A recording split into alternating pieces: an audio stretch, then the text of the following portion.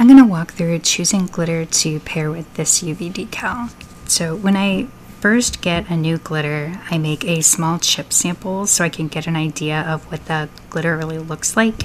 Sometimes in the bottle, the finer cut glitter will cling to the bottle and make them look a little bit more prominent and not really give you an accurate representation of what the mix looks like. So here what I had done is I already narrowed it down to a smaller group that was in front of me and I'm looking for something relatively chunky and definitely not extra fine since I'm going to be putting it in a snow globe.